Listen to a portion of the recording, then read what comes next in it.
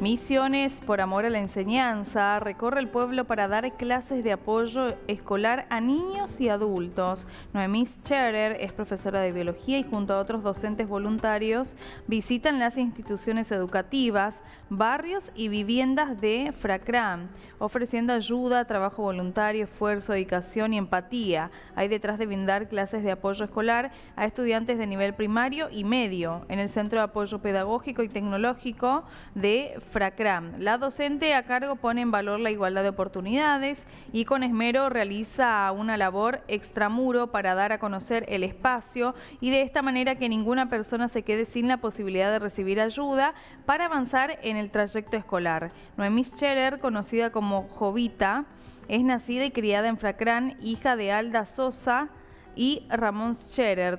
terminó sus estudios primarios en la escuela número 359 y los secundarios en el aula satélite del IEA número 2. Desde hace cinco años ostenta el título de profesora en biología y técnica en gestión de ambiente y hace cuatro meses regresó a su pueblo natal con un claro objetivo, generar oportunidad laboral y brindar asistencia a toda persona que tenga ganas de seguir estudiando o bien que presente dificultades en el aprendizaje. Somos el primer canal de noticias desde el interior del país.